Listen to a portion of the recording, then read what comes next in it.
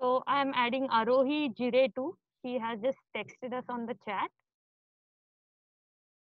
We already Excellent. have Rupashri. Okay.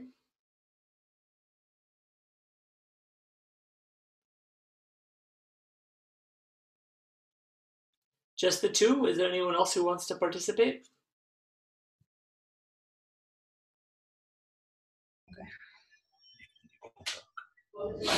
Hello. Hi, Ivan. Hi, Rupashri. Hi. Do you remember?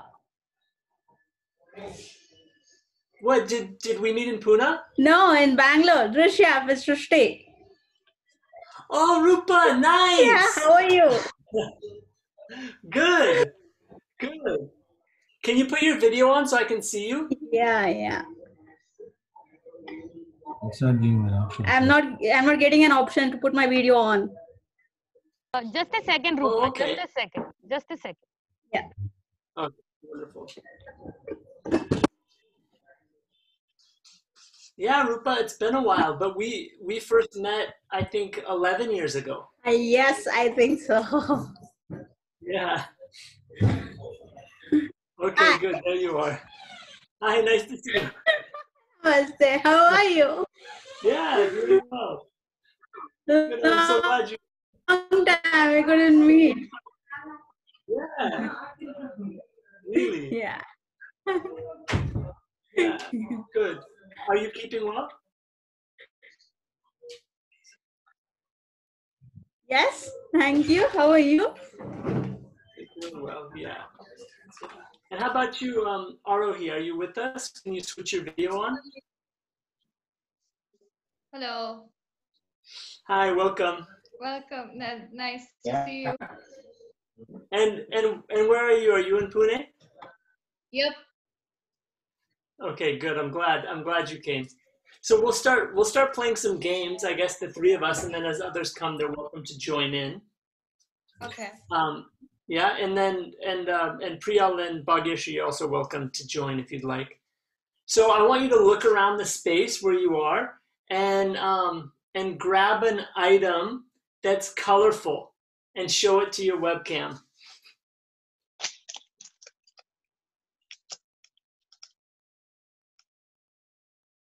You got something colorful, Rupa?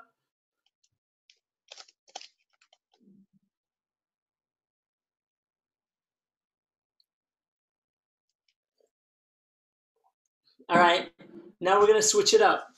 Um, grab something white. Ah, there's your colorful thing. Do you have something white?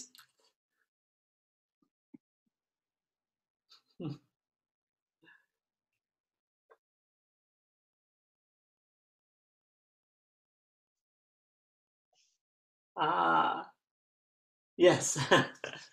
and now grab something useful.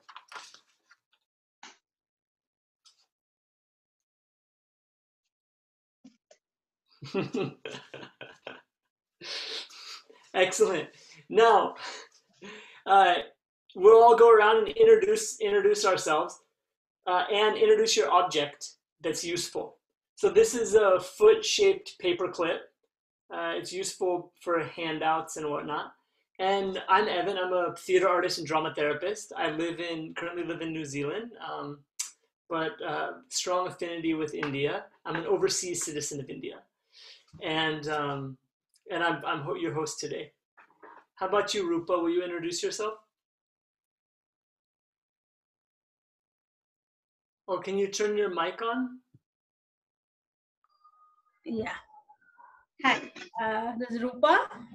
Um, I'm, I come from the background of NGO. I worked with kids for almost like 15 years now.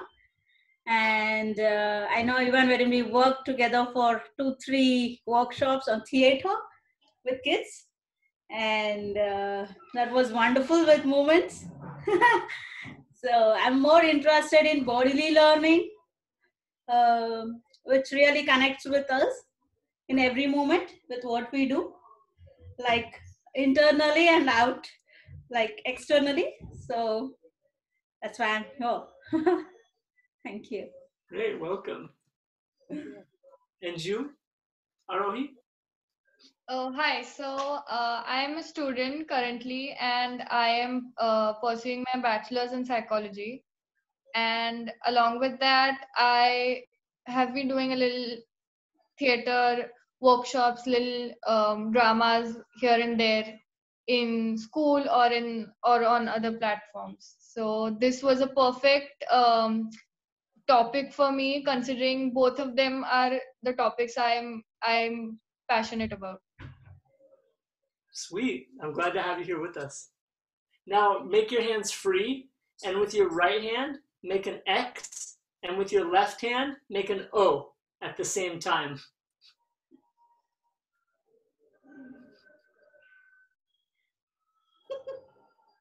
Now do the O in the other direction.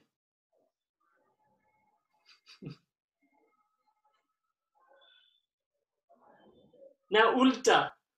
X with the left hand, O with the right hand. and if it's too easy, write your name on the floor with your foot at the same time.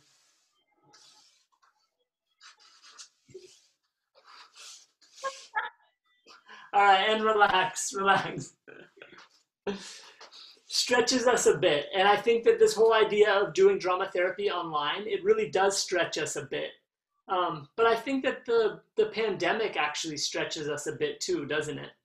Yes. And so, uh, so I'm hoping that uh, that we can kind of connect and find a way to still experience some of this stuff, um, even given the current hardships and given the you know the fact that it's not quite as good as being face to face in person. Um, so I'm gonna say when I say yes, you say no. Yes. No. How about you, Ari? Yeah, I was on mute. Sorry. Okay. All right. When I say yes, you say no. Yes. No. No, Yes. No. no. Yes. Oh. Oh, When I say stop, you say go. Stop. Go. go, Stop. Go. Stop. No. Go. Yes. no, Stop. Go. Go. Yes, yes, yes. No. No. No. Stop. Yes. Go. Go. No. Fast. slow, Good. Good, you got it. Um, so with with uh, with drama therapy, it's really important that we uh, become playful and that we allow ourselves to be silly and that we spend the time to kind of connect and play with each other without too much um, like judgment or reflection at first so that we feel free. And then as we feel free we can then also move deeper into what we explore right? So if i um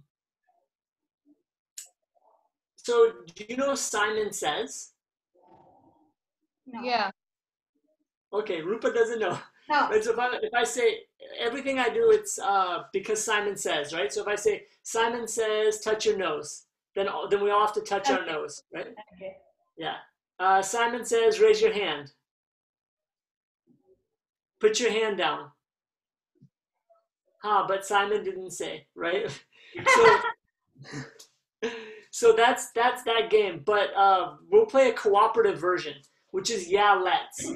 So i'll suggest something and then we'll just do the thing that i suggested until one of you suggests something else and then we switch to your idea and we keep going until somebody else suggests something else so whenever somebody suggests something new the three of us will say yeah let's and then we join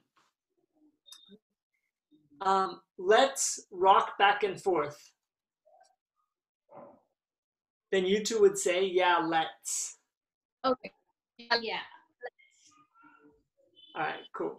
So we'll rock back and forth. And now we keep rocking until one of you suggests something else. Let's uh, drink some water. Yeah, let's. Yeah.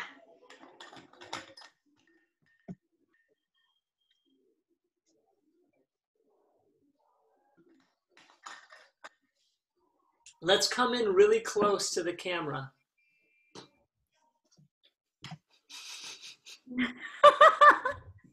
Yeah. Yeah, let's. Let's jump a bit. Yeah, let's.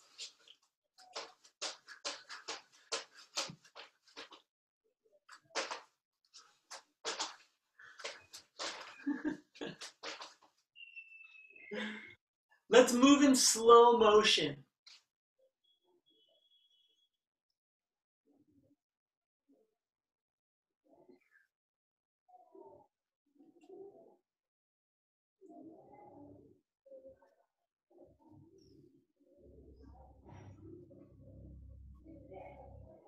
And let's end the game. yeah. Thank you. Uh, so, what makes a game fun?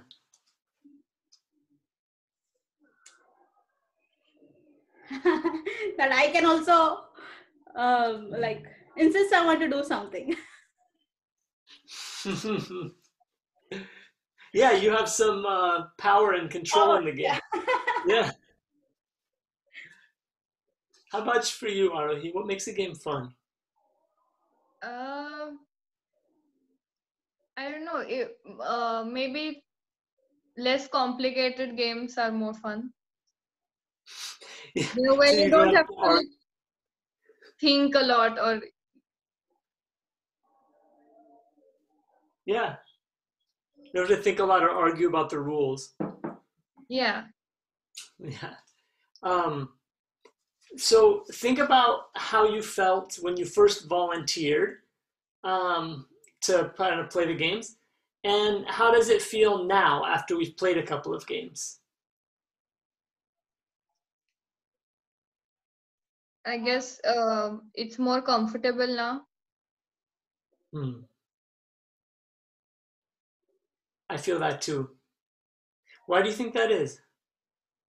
I yeah, I feel that it's refreshing. Like you know, it's an energizer, Yeah. um, and uh, it makes me like uh, get into the mode now. now I'm into drama theater. That's what I feel. Yeah, and that was, and that's just a few minutes.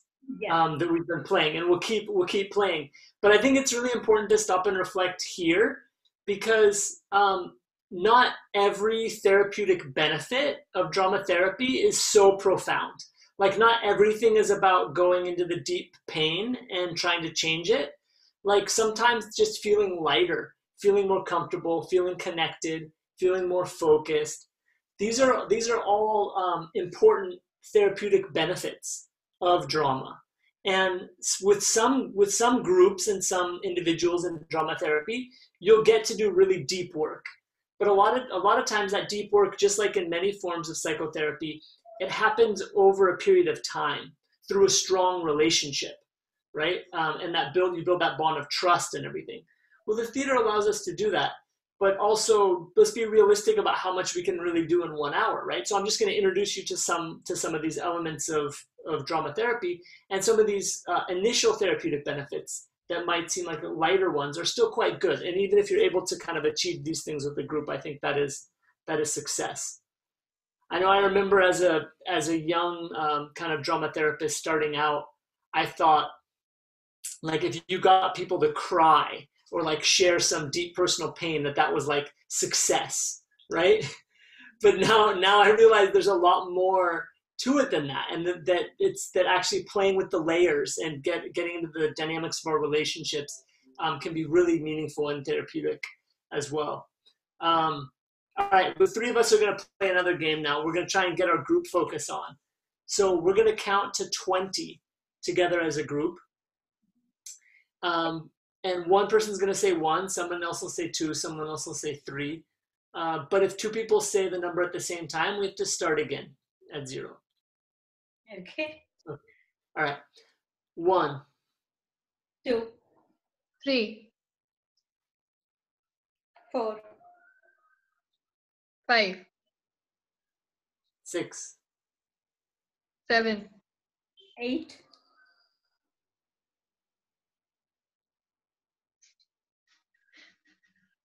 nine.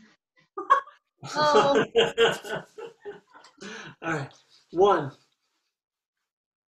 two, Three, four, four. Oh, one, two, three, four, five, six, Six. one, two, three, four,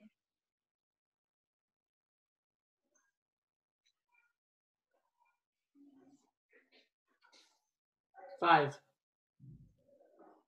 six, six, one, two, three,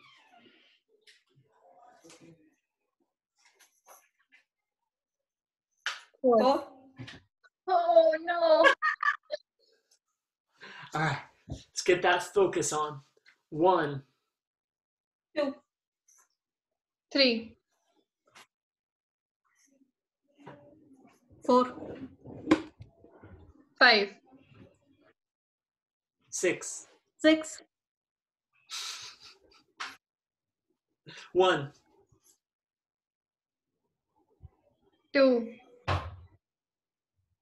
three, four,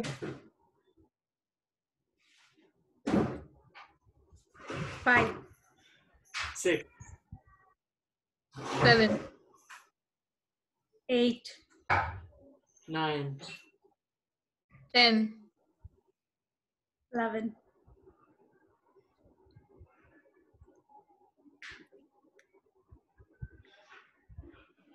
twelve, thirteen. thirteen, All right, we'll stop there. Good. Uh, I think the lag time makes it a little bit more difficult. Um, so, have you played that game before in a group?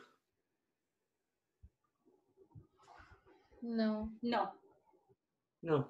It's it's it's lovely. Like I think it's almost easier with three people than it is with a larger group. But the great thing is that it it forces us to slow down and really listen and like be aware of kind of our space within the group. But it does that without us having to think about the fact that that's what we're doing. So again, we're build it's we're working with group dynamics, but we're not um, stating it. It's all just in the form of a game. So I'm gonna I'm gonna do I'm gonna share screen now with you for a minute and show you some of the um, some of the theories that we're working with, and then we'll and then we'll go back in and play a few more games. So I'll sh- if I show you my desktop.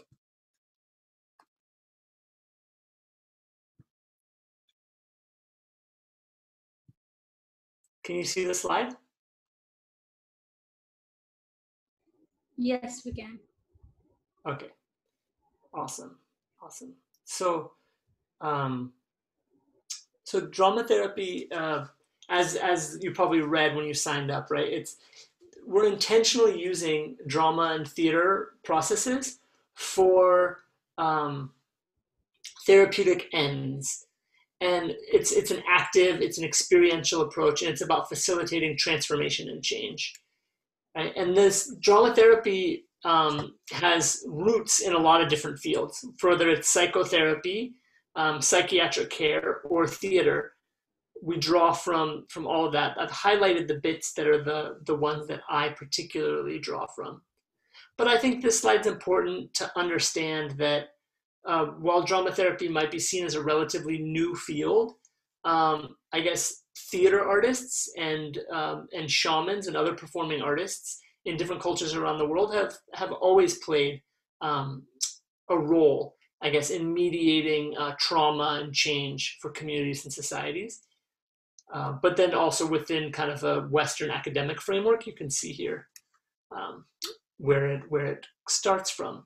So the theoretical orientation that I want to show you specifically in this workshop is the five phase model from Renee Emunah, right? And just like how we started out this workshop, it's all about connect before content. We have to build those relationships and connections with one another before we do anything else. And that's how we become engaged. Like I learn 0% of what happens when I'm not engaged. Um, so in order to create those connections, to grow and change, we engage in dramatic play, which is all about playing games, inviting spontaneity. We develop trust as a group. We build our group dynamic, um, which enables us to kind of get into another phase, phase two of work in the five phase model, which is scene work. And in scene work, we're able to do some role play. We sustain our active imagination, um, but we're not analyzing what we do. We're reflecting on it um, but it's not like a, a critical analysis. It's okay, what did it mean that I took on this role? We're not doing that type of reflection yet because that still makes us more self-conscious.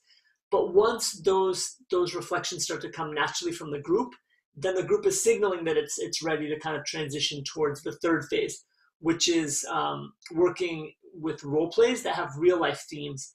And here we start to break some of our own behavioral patterns and try out new ways of being in the world. Um, and that third phase, uh, there's a lot of work that can happen there in terms of um, creating therapeutic change and growth. And um, the fourth phase is a culminating enactment, which which is also similar to um, psychodrama, but it could also be a self-revelatory performance or a sociodrama in psychodrama, the, the therapeutic goals are uh, about catharsis and insight. Right? And some of some of the work is not just working on what's what you are consciously aware of, but there's subconscious themes that will emerge and come out in that work. And this this becomes um, something that really draws on the work that you did in the previous three phases. Uh, and the fifth phase is a dramatic ritual, which is where we kind of close everything and bring it back together. Um, we we integrate the change um, that we've experienced, kind of like the end of the hero's journey when you return home. So in with that dramatic ritual, we integrate it before we enter back into kind of life as we know it. Now, the reason why these are called phases and not stages is because they're not necessarily linear. You don't always progress uh, from one to five, and the goal is not to try and get um, to, through all the phases, right? Like maybe like in this one hour example, maybe we'll do some dramatic play and uh, and begin to do some some longer play and get into scene work a little bit. That would um, that would just be the you know stages one and two or whatever, and then we'll reflect and close. So we'll do a little bit of phase five, but um, but yeah, it's it's not linear. It's not mandatory that you do all of them. And I think, like as as I had said before, just starting starting out, you might think that the goal is just to go straight for that deep one, that psychodrama, right? Like I think a lot of people think the goals of psychotherapy are about catharsis and insight, releasing the emotion, realizing something about yourself. But there's a lot of other benefits that come from becoming more connected with one another our, problems don't exist uh, in a vacuum unto ourselves. A lot of our problems exist in the context of our relationships and in our families and in our friendships and in our workplaces. And so being able to do drama therapy in a group and work on group dynamics in the way that we are with others can help us navigate the issues that we face otherwise in other social situations um, and family and other relationships in our life. Um, whereas um, the psychodrama, you know, it's it's kind of a deeper individual um, work, but again, you can swap out that culminating enactment for um, something more socio-dramatic. I can see that quickly we're getting questions, so I'm going to stop the screen share, pop back in here with you, and um, and check out what we've got. So were there are there any are there any questions? No. You can feel free to drop questions in the um, question thing below, and also you're welcome to um, to say anything with the um, in the chat as well. And is there a raised hand?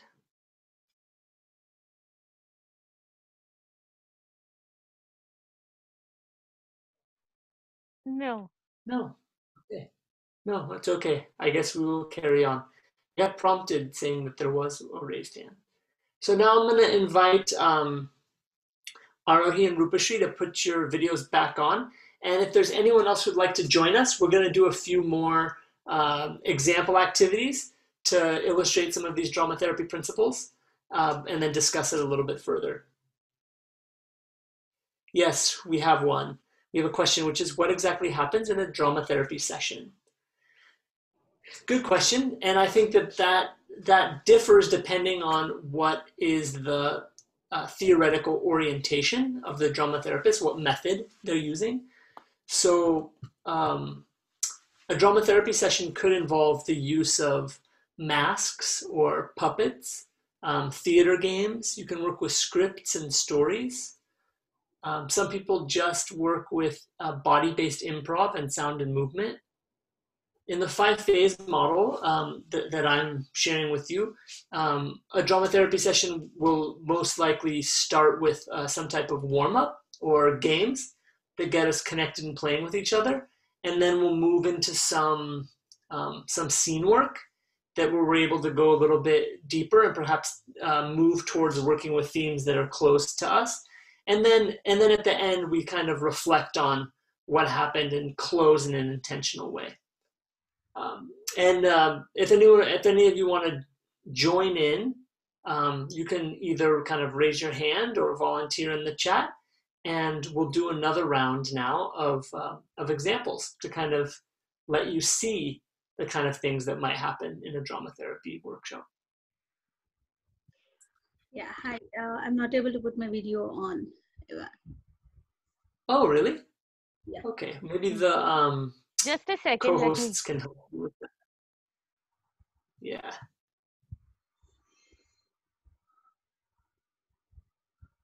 Thanks for saying that, Rupa. Yeah.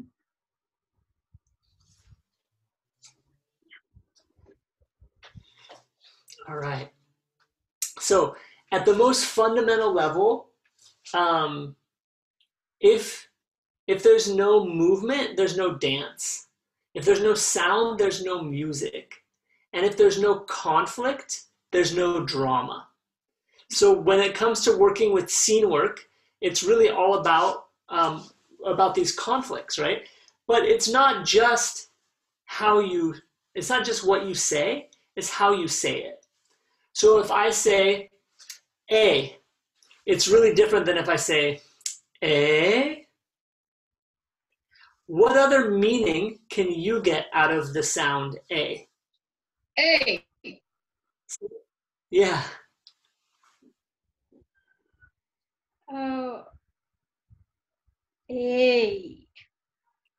It, A. Yay! how about ooh? What meaning can you get from ooh? Um. Uh, it's- sometimes it's wow. It can Ooh. like cool sort of. Ooh. Yeah. How about E? Tired.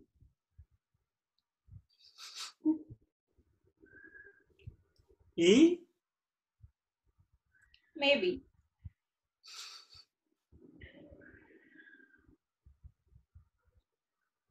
Um. Now, what if it was a word? How about the word yes? What different ways can you say the word yes that have different meanings? Yes. Wherein you just nod your head for someone else's response, you know. Yes.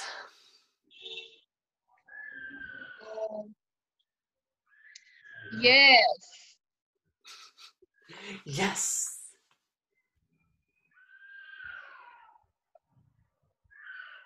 That's what my kid does when when uh, she gets more time to play.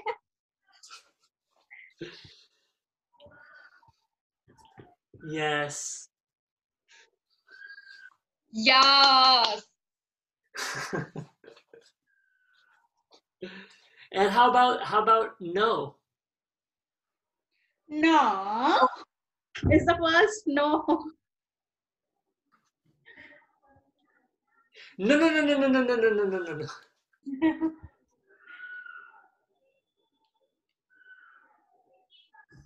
No. No. It's like one one. No. And you're tired and No. God no.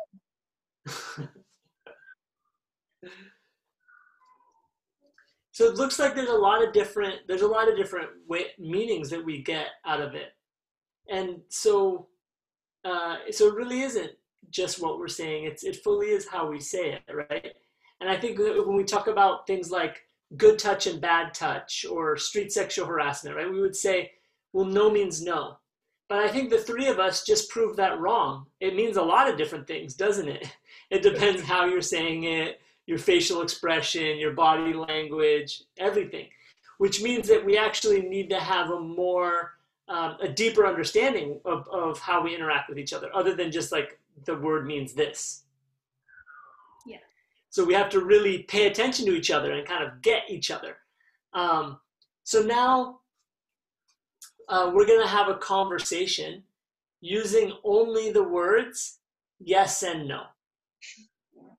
All right. So Arohi, it's going to be between uh, you and Rupa, and Arohi, you're going to say yes. Rupa, you're going to say no, and you're going to talk for a minute straight. But you only use that one dialogue, and you have to try and convince the other person. All right. Ready? Begin. Yes. no, Yes. no, Yes. no, Yes. no, Yes. no, no, Yes. Yes. Yes. no, no, no, no. And now switch. So now you're saying the other word.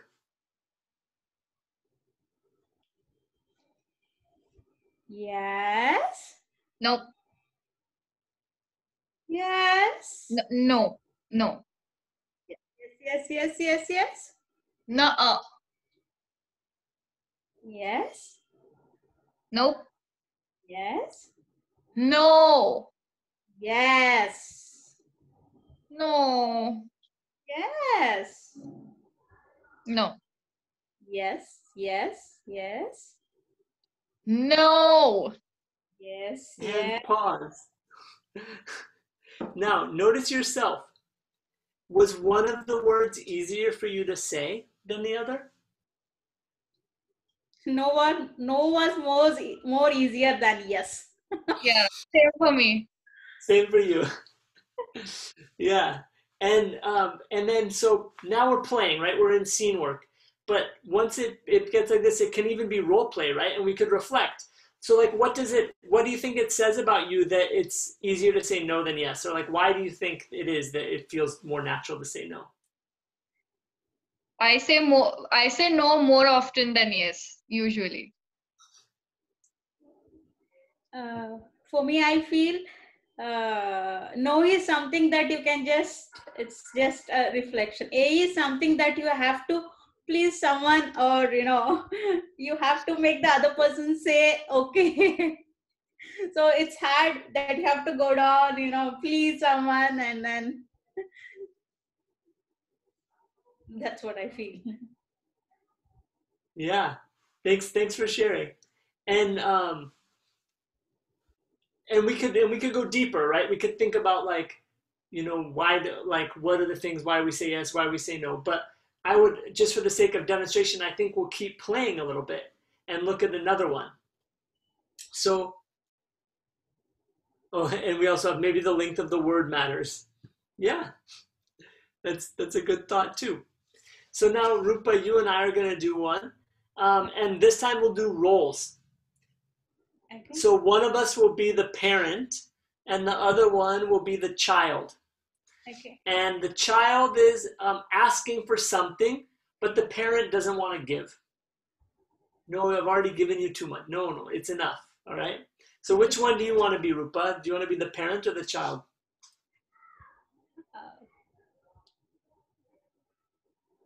Anything. I'm okay with anything. You're okay with anything? Okay. Well, you liked the saying no, so you be the parent, Okay. and I'll be the child. Okay. Okay. I think we have played this once. We would have played this, I think, so we played this.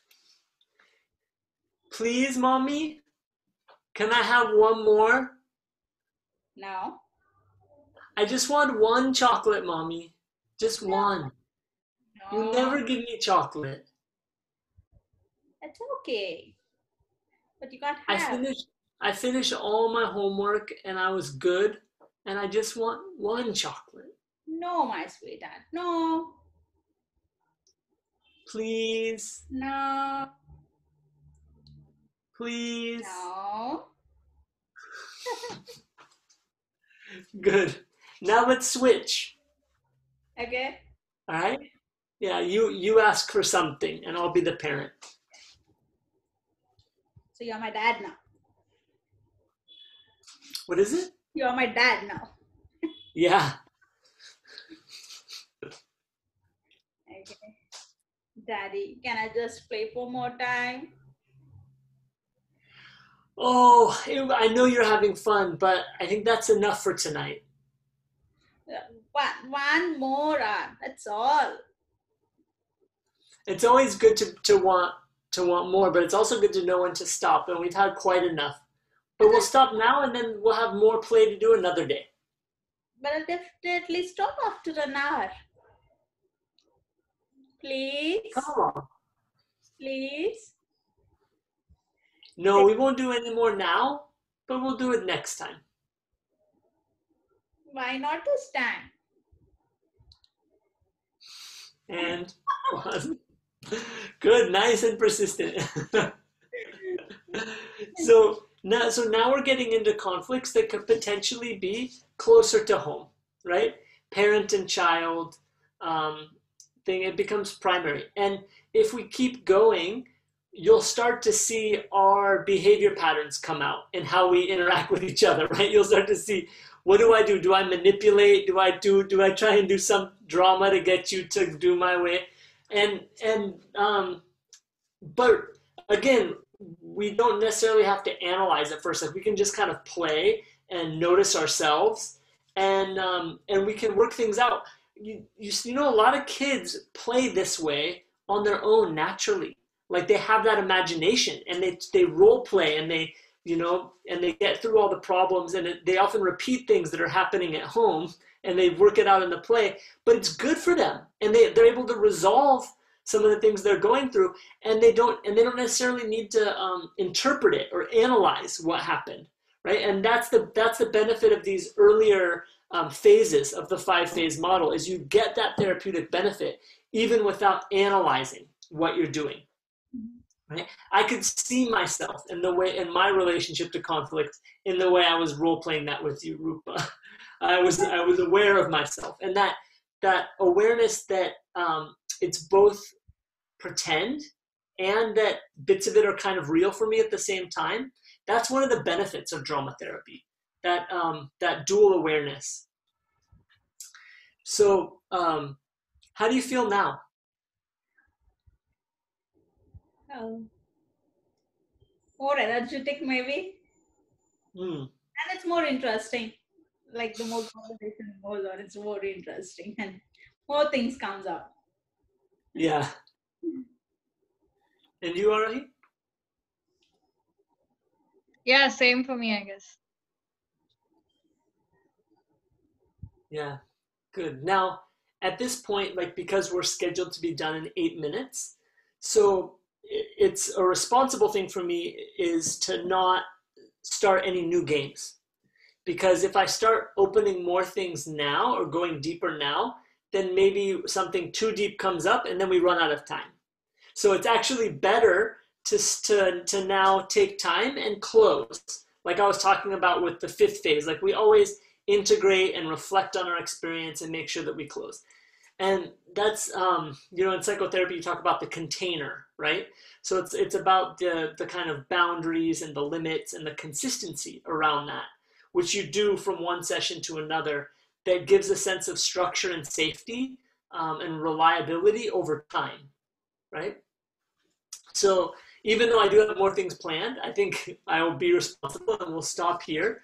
Um, and, and I hope that this gives you some insight into, into drama therapy. Um, let's, let's now reflect on, um, on drama therapy in general. Like, are there any, are there any questions that you have or thoughts that remain from this webinar today? I have a question. Yeah. Um, like even though we use this uh, drama therapies and we push, I'm talking as a kid. For a kid, even though uh, there are uh, many ways that we can help them in opening up their fear or their anxiety or uh, all that things, but still when uh, when they come in front of uh, they are on stage or they have to perform in some of the stage fear or uh, the fear that people might take me wrong or they might go and say something. All that sort of uh, bundle of fears that they have so how can we help kids to overcome that? Like you know uh, i understand first thing is trust that they should trust us uh, but still trust is not that easy to gain but what else? Well i think this is really what you bring up is a really good point Rupa, because and it's it, they should trust us but they should also trust each other. Um, and and know that like my friend is not going to keep making a comment about it you know the next day and the next day. Um, and and so that and that's the part that we have to be patient. Um, and so some like we might think okay we can play one or two games and then go deeper but that's the bit where actually sometimes if if young people have had a difficult time at home or a difficult time in their neighborhood or something, that sometimes that trust, as you're saying, it takes a lot more time um, before you can overcome some of these things. And that's where sometimes we have to be um, with the goals. Sometimes we have to to look at smaller pieces at a time, right? To say, you know, can we just can we just laugh? Like I wonder how long we can forget about the fear and play now, the getting up in front of everybody, that part can happen later. The sharing something personable about yourself in front of the group, that can happen later. First, let's just find a way to laugh together, to be together, to enjoy our company. Um, and that what that does is it lays the foundation for any later sharing, for any later risk taking. But yeah, I think there's, you're right, Rupa, there's no magic. There's no magic solution. Thank you yeah, of course. Yeah. All right, so we've got one. Um, who can become a drama therapist? So uh, the training for drama therapy is similar to that for um, a counseling psychologist or another type of therapist. So you need that clinical training because the difference between like a drama teacher and a drama therapist is that the drama teacher uses learning goals the drama therapist uses therapeutic goals. So you have to understand um, human psychology. In India, a lot of people will practice with a master's level. And a master's level in psychology is, is sufficient. And then you can go through a training program. So there's a number of different training programs, and a lot of them are like postgraduate diplomas. So um, you've got people who are offering trainings in in Bangalore. at Smart Studio. Um, in Pune, um, Artsphere and Soul Sphere offer trainings. and um, and in Mumbai you've got the um, Xavier's has a postgraduate diploma. Um, so I, I don't know if that answers your question, but a part of that training process is facilitating groups and then getting feedback um, and have going through supervision. So, okay, cool, sweet. We answered the question. Um, I'm really excited about um, what we're all in this together um, is doing. So I appreciate uh, the Sakal group for organizing this. And I think the idea of promoting um, mental health and well-being um, is really important. And I think now more than ever, this has been a really difficult year for a lot of people. And just because the vaccine comes doesn't mean that the problems that COVID has kind of exposed and, and um, made worse, those are not going to go away right away. And so being able to um, connect with one another, have positive and playful ways that help us rebuild our connections, rebuild ourselves, rebuild our communities. I think it's it's going to be uh, increasingly important. And I think anxiety um, is something that we talk about so much more now. Because, and I'm thinking about uh, about us, Rupa, and like the games that we would have played, you know, 11 years ago or whatever, um, and how how things have changed. And I think that that the that the world is more. Um, many people are more anxious now than they were 10 years ago, and so thinking about how um, how can we respond to that call, respond to that need um, and and be creative and take good care of ourselves as we continue to kind of respond to this to these issues. Um, and that's that's where I want to just thank um, thank Sakal and the um, we're in this together for the work that they're doing um, to promote mental health, to to do trainings for teachers, to do stuff with college students, um, to get there to get out there into the um, government schools and low fee private schools and and really support this work. So um, yeah, thank you for having me. Thank you, Ugam. So also we can part ways because Evan can talk very well in Hindi. So yes, धन्यवाद. Nahi shunya. thank you, thank you. I'm gonna take this, I'm gonna take one last question that came, and then we'll wrap up for the day. So the question from an anonymous question is, um, what problems do drama therapists treat? And I think there's a lot of issues that drama therapists treat. So some people treat, um, you know, depression and anxiety and those kind of problems. Other people do things like working with end of life care for seniors or people who have chronic illnesses like cancer. There's people who work on um, eating disorders. Um, a lot of my work is around um, trauma recovery, um, violence prevention, and working around um, sexual assault prevention and sexual violence. So there's a lot of different um, there's a lot of different things, uh, ways that you can use drama therapy. Um, so again, it's it's really about having that therapeutic goal in mind, just the way that a teacher would have a learning objective in mind as you're as you're leading the process. Cool. Um, so thanks thanks uh, for coming out today. I I appreciate it. It was good to see you again, Rupa, and nice to meet you, Arohi. Thanks for playing along. Thank you so much. It was really nice to see you after a long time. Yeah, hopefully it won't be so long before I see you again next time. Yeah, I will. We'll catch up. Okay. Yeah, have a great day. Bye. Yeah. Bye, Arohi. Thank you. Mm-hmm. Bye.